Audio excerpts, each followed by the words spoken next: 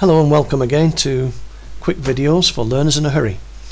I'm going to show you um, how to create a report on an Access database but make sure that the uh, making sure that the field headings and all of the data is fully displayed.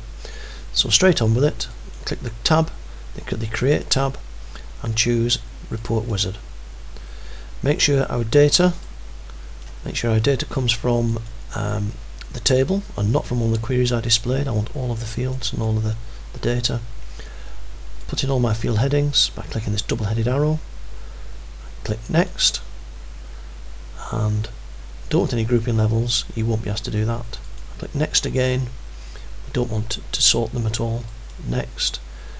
Tabular layout is fine in portrait and we'll ask it to adjust the field width so all fields fit on a page and we'll click next and office design is fine. Click next. Give our report a name.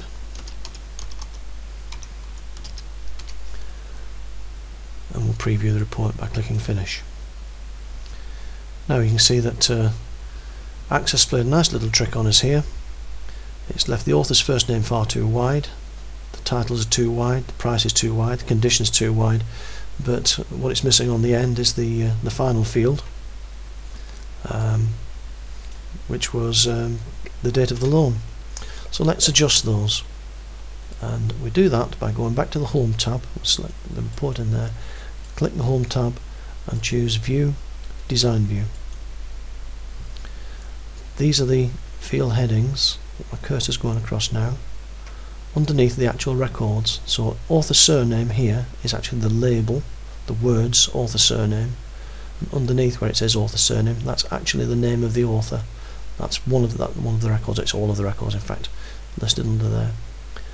The author's first name, as we saw, was uh, unnecessarily wide. We can narrow that a little bit, making sure that author's first name is fully displayed and that the there's plenty of room for that for that name underneath.